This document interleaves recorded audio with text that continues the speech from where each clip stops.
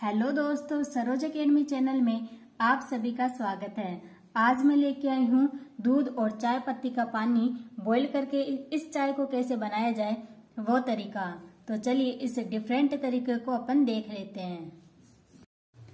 Gas on करके एक बर्तन लेंगे, जिसमें आप चाय बनाते हो, वो ले लीजिएगा। और इसमें डालेंगे हाफ़ कप पानी। में ऐड करेंगे चाय पत्ती। दूध इस टाइम आपको बिल्कुल भी ऐड नहीं करना है।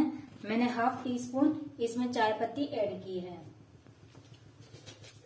एक टेबल स्पून इसमें शक्कर डालेंगे।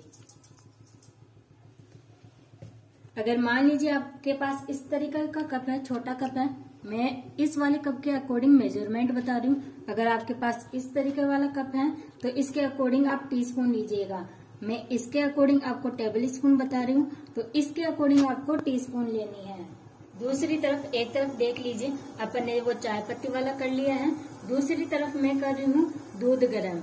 आप गाय, भैंस, किसी का भी दूध ले सकते हो, जो आपके पास अवेलेबल हो। मैं यहाँ पर दूध ली हूँ एक कप एक कप से भी हाफ़ कप क्योंकि अपन ने हाफ़ कप पानी लिया है। तो हाफ़ कप दूध लेंगे। लेकिन मैं सारे दूध को एक बार उबाल रही हूँ। किस वजह से? क्योंकि इसमें जो क्रीम है, इसके झाग है, वो निकल जाए। इतनी देर में हमारी वो वाली चाय बॉईल हो जाएगी, तब तक अपना दूध भी गर्म हो जाएगा। ये देखिए प्याज होने लग गई ना अपनी चाय?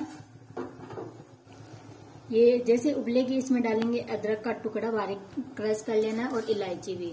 और आप चाहो तो लौंग, सर्दी का टाइम है तो लौंग, काली मिर्च, ये आप मसाले वाले जो मसाले होते हैं ना, अपन मसाले वाली जो मसाला पाउडर होता है चाय का, वो भी ऐड कर सकते हो। और इसे मिक्स करेंगे ऐसे।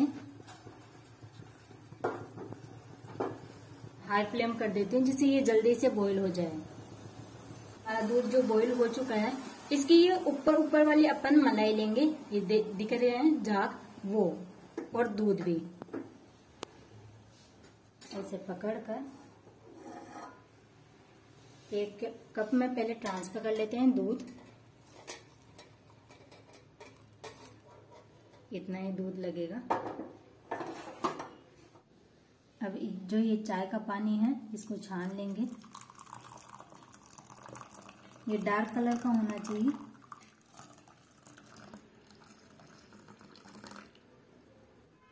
झाग झाग इसमें डाल देंगे।